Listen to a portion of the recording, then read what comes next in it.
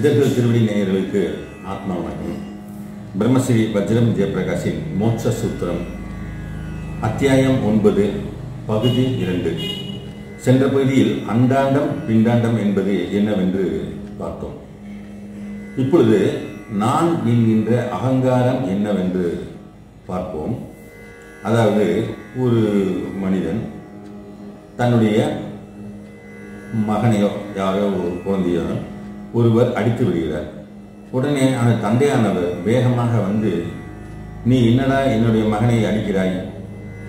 என்று சொல்கிறார்கள். நாம் இந்த தத்துவ ரீதியாக அண்டாண்டம் பிண்டாண்டம் என்றும் இந்த பிரம்மஸ்வரூபமாக இருக்கக்கூடிய இது ஜீவனே என்றும் அனைத்தும் இவ்வாறாக இருக்கக்கூடிய நிலையை உணர்ந்து அதை வைத்துக்கொண்டு யாராவது இது யா- யார் இந்த பிரம்மனை அடித்தார்கள்? என்று எப்போதும் கூறுகிறோமா? இது போன்ற எல்லா செயல்களுமே ஏதாவது ஒரு பொருளை எடுத்தால் இது என்னுடையது என்று சொல்கிறார்கள். இவ்வாறாக எந்த ஒன்றுமே இந்த மாயா உலகத்தில் நான் என்றும் என்னுடையது என்று மட்டுமே சொல்கிறார்கள். இது பிரம்மஸ்வரூபமானது பிரம்ம நிலையானது என்று யாரும் சொல்லுவதில்லை. இது யோகம் ஞானம் என்கின்ற உணர்ந்தவர்கள் கூட அந்த யோக நிலையில் இருப்பவர்கள் கூட இது என்னுடையது நான் என்று தானே சொல்வது வழக்கமாக ஆகிவிட்டன. ஆக அது அனைவருமே இதை உணர்ந்து இது பிரம்மஸ்வரூபம் தான் காண்கின்றதும் பிரம்மனே காணப்படுவதும் பிரம்மனே என்று ஏகமாக அது இருப்பதாக இருந்தால் அனைத்துமே ஒரு அதுவே ஒரு சிறப்பான ஒரு ஞானம் என்று சொல்லலாம். ஆனால் இன்று வழக்கச் சொல் வந்து நான் எனது என்கின்ற ஒரு வார்த்தை தானே வருகின்றன அப்போதுதானே அது தன்னை அடையாளப்படுத்திக் கொள்ள முடியும். அந்த அடையாளப்படுத்திக் கொள்ளவே முடியவில்லை என்றால் அது ஏக ஜீவன் ஒன்று. இங்கு ஒவ்வொன்றையும் அடையாளப்படுத்துகிறது என்றால் அது ஏகமும் ஜீவனே. அந்த பி- பிரதிபிம்பமே. அந்த பிரதிபிம்பத்தில் இருந்து இது ஏக ஜீவன் என்கின்ற ஒரு நிலையை உணர்வதுதான் என்பதுதான். அடுத்து ஒன்று பார்த்தோமானால் இந்த பிரம்மாவுக்கு நான்கு குணங்கள் நான்கு குணங்களை கொண்ட முகமாக அதை நான்முகன் என்று குறிப்பிடுவதாக புராணத்தில் கூறுகிறார்கள். ஆனால் ஒரு புராணத்தில் அதற்கு இன்னொரு கதை உண்டு. அதாவது பிரம்மன் ஐந்து தலையை கொண்டவர் என்றும் அவர் அகங்காரத்தினால் செயல்படுகிறார் என்று சிவன் வந்து அந்த உச்சியில் இருக்கும் ஒரு தலையை பீய்த்து விட்டார் என்றும் ஒரு புராணத்தில் பார்க்கின்றோம். அது பீய்த்த உடனே அந்த பிரம்மா வந்து சாபமிடுகிறார் என் தலையை பீத்தாய் அல்லவா? அது உன் கையில் ஒட்டி கொள்ளும் அது எப்பொழுது நீ அது அது பிச்சை பாத்திரமாக மாறி நீ பிச்சை எடுத்து வாழ வேண்டும். அது எப்பொழுது அந்த பிச்சை பாத்திரம் நிறைகின்றதோ அப்பொழுதுதான் உனக்கு சாப விமோச்சனம் என்று சிவனுக்கே பிரம்மா வந்து விடுவதாக ஒரு புராணம். அதில் உள்ள ஒரு தத்துவத்தை நாம் பார்ப்போம். அது கதைதான் என்றாலும் அதில் உள்ள ஒரு சில தத்துவங்களை நாம் இங்கு பார்க்கலாம். அது எவ்வாறு என்று பார்த்தோமானால் இந்த நான்கு குணங்களை கொண்ட பிரம்மா தான் இந்த மாயா உலகில் இருக்கிறார். இதற்கு உற்பத்தி ஸ்தானமாக இருக்கக்கூடியது ஜீவன் என்று நாம் ஏற்கனவே பார்த்தோம். மனம் சித்தம் புத்தி அகங்காரம் என்பது நான்கு. இதற்கு அடிப்படையாக மூல காரணமாக இருக்கக்கூடிய அது உற்பத்தியாகக்கூடிய நிலம் இடம் வந்து ஜீவன் என்று பார்த்தோம். அந்த ஜீவன் அந்த ஜீவன் என்பது தன்னுள் அடங்கி இருக்கக்கூடிய மனம் சித்தம் பூர்த்தி அகங்காரத்தை விலக்கி விடுகிறது. தான் வேறு அது அந்த நான்கும் வேறாக. அதாவது இந்த ஐந்தும் சேர்ந்து ஒரு இடத்தில் ஒரு உற்பத்தி ஸ்தானமாக இருக்கும் ஜீவனில் ஐக்கியமாக லயமான ஒன்று. தன்னுள் இருந்த ஒன்றை நான்கை பிரிக்க வேண்டும் என்றால் அந்த ஐந்தில் ஒன்றை எடுத்துக்கொள்வது என்பது போலதான். ஒன்றை பிடித்துக்கொண்டு நாங்களையும் விளக்குவது என்பது. இதைத்தான் அவர்கள் வந்து ஒரு தலையை பிடித்ததாக குறிப்பிடுகிறார்கள். சரி அவ்வாறாக ஆன பிறகு அந்த சிவன் வந்து அதை பிச்சை பாத்திரமாக வைத்து புறத்தில் பிச்சை எடுப்பதாகவும் அன்னபூர்ணி தாயார் வந்து அதற்கு அந்த பிச்சை பாத்திரத்தில் அந்த பொருள்களை அன்னத்தை போடும்போது அந்த அம்மா போடும்போது தான் அது நிறையும் என்றும் மற்ற ஊர் பூரா அவர் சுற்றி பிச்சை எடுத்தாலும் அது நிறையாக என்றும் அது ஆகின்றன. அவ்வாறாக ஒரு வகையாக கதையை முடித்து அன்னபூர்ணி தாயார் வந்து அந்த பாத்திரத்தை நிரப்பி அவரை சாப விமோச்சனத்தை கொடுத்து அவர் பழைய நிலை கொண்டு போவதாக புராண கதை. அவர் சிவனாகிறார் என்று. ஆனால் அதில் தத்துவத்தை பார்த்தோமானால் அது ஜீவனிலிருந்து வெளியானது தான் இந்த பிரம்மா என்கின்ற இந்த நான்கு ஐந்தாக இருந்த ஒன்று அதில் விடுபட்டு நான்காக வெளிவந்து விட்டன. இன்று மாயா உலகத்தில் இருக்கின்றன. மீண்டும் இந்த மாயா உலகத்தில் இருந்து அது ஜீவனை அடைய வேண்டும் ஜீவனாக வேண்டும் என்றால் என்ன செய்ய வேண்டும்? புறத்தில் வரும்போதே அது எதுவாக வருகின்றன? நான் என்கின்ற அகங்காரத்தோடு தானே வருகின்றன? அந்த அகங்காரம் எங்கே இல்லாமல் போகும்? உலகம் பூராமே அனைவருமே அந்த நான் அகங்காரம் என்கின்ற ஒன்றில் தான் வாழ்ந்து கொண்டிருக்கிறார்கள். அதில் அகங்காரம் என்ற ஒன்று இல்லாமல் போனால்தான் அது மீண்டும் அது ஜீவனை அடையும் என்பது கோட்பாடு.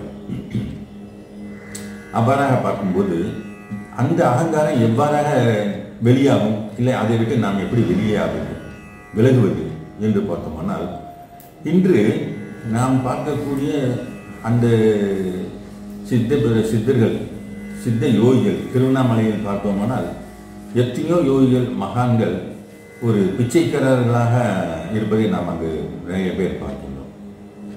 என்ன ஒரு பிச்சை என்பதில் ஒரு பெரிய மகத்துவம் இருக்கிறது என்று பார்த்தோமானால் அகங்காரம் ஒடுங்கும் இடமே வந்து அந்த பிச்சை எடுப்பது அதை விட கீழான ஒன்றுமே இல்லை. என்னிடம் எதுவுமே இல்லை. ஏதாவது கொடுங்கள் சொல்லி கேட்கும்போது அவர் பிச்சை கேட்கிறார் என்றால் அவரிடம் ஒன்றுமே இல்லை என்று ஆகும்போது அந்த அகங்காரம் இல்லாமல் போய்விடுகிறது. இதுதான். எல்லாமே என்னுடையது இல்லை என்று சொல்லும்போது அந்த அகங்காரம் என்பது இல்லை. அந்த இல்லாமல் போவது என்பது அந்த பிச்சை என்கின்ற ஒரு நிலையில் தான் ஆகின்றது. அதன் பிறகு அன்னபூர்ணி தாய் என்கிற ஒரு சக்தி ஒரு சக்தி சுரூபம். அந்த சக்தி சுரூபம் தன்னுடைய பாத்திரத்தை நிரப்பினால் அவர் மீண்டும் ஜீவனாகிறார் என்பது என்ன என்று பார்த்தோம்னா இந்த புறத்தில் மாயா உலகில் வந்து ஜீவ நாசம் உண்டாகி கொண்டுதானே இருக்கின்றன. எல்லா விதத்திலும் ஜீவநாசம் உண்டாகி கொண்டுதானே இருக்கின்றன. ஒரு யோகம் என்று பார்த்தோமானால் அந்த ஜீவநாசம் இல்லாத ஒரு வாழ்க்கை தானே யோகம். அவ்வாறாக பார்க்கும்போது ஜீவநாசம் இல்லாத ஒரு நிலை தன்னுள்ளே அந்த சுக்கிலமானது நிரம்ப பெற்று அது ஜீவ நாசம் ஆகாமல் தன்னுள்ளே அடங்கி இருக்கக்கூடிய ஒன்று. அதற்கு ஒரு புறத்தில் இருக்கக்கூடிய ஒரு சக்தி தேவைப்படும். அந்த சக்தி ஒரு ஆற்றல். அந்த ஆற்றல் முழுமை பெற்றவுடனே தன்னிடம் எதுவுமே இல்லை என்று அகங்காரமும் விட்டவுடனே அந்த மனமானது அங்கு வாயுவாக சலித்துக் கொண்டிருப்பதை நிறுத்தி அங்கிருந்து உள்முகமாக சென்று இந்த நான்கு குணங்களும் மீண்டும் ஒவ்வொன்றாக தன்னிலிருந்து விலகுகிறது. அதாவது அந்த நான் எனதுங்கிற அகங்காரமும் மனம் சித்தம் புத்தி என்று சொன்னோம் அல்லவா அடுத்து புத்தியும் இல்லாமல் போய்விடும். நம்ம புத்தி என்றால் என்ன? இப்படி செய்தால் அப்படி தனக்குன்னு ஒரு கௌரவம் இருக்கின்றன என்று பல நிலைகளை கூறுகிறார்கள் அல்லவா? அந்த அதையும் விட்டுவிடுது. தான் எந்த ஒரு நிலை நிர்குணன் என்று சொல்லக்கூடிய ஒரு நிலைப்பாடு. அந்த புத்தியை விடுது. சித்தத்தை விடுவது. அந்த மனதையும் உள்முகமாக சென்று விட்டு அந்த மனமானது ஜீவனில் லயிப்பது. இதுதான் இந்த ஐந்து நிலைகள் இருக்கக்கூடிய அதாவது ஜீவன் என்கின்ற உள்ளூர் இருக்கக்கூடிய ஐந்து நிலைகளில் நான்கு பிரிந்து வெளியாக வந்து மீண்டும் அது அனுபவப்பட்டு மீண்டும் இந்த நான்கையும் இல்லாமல் ஆக்கிக்கொண்டு மீண்டும் அது ஜீவனில் அடைவது. இதைத்தான் புராணத்தில் அவ்வாறாக கதைகளாக குறிப்பிட்டிருக்கிறார்கள். பல தத்துவங்கள் கொண்டதுதான். ஆனால் அது குழந்தைகளாகவே பாவித்து அது என்றென்றும் அதை புராணங்களை எடுத்துக்கொண்டு ஒரு குழந்தைகளாகவே இருக்கும் வண்ணமாகத்தானே அமைத்திருக்கிறார்கள்.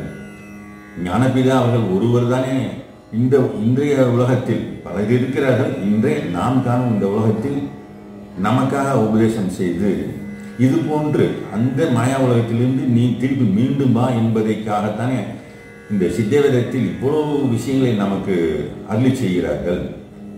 இயல்பாக இரு. அதான் ஒரு பிச்சைக்காரன் எப்படி இருப்பான்? இயல்பாக இருப்பான்.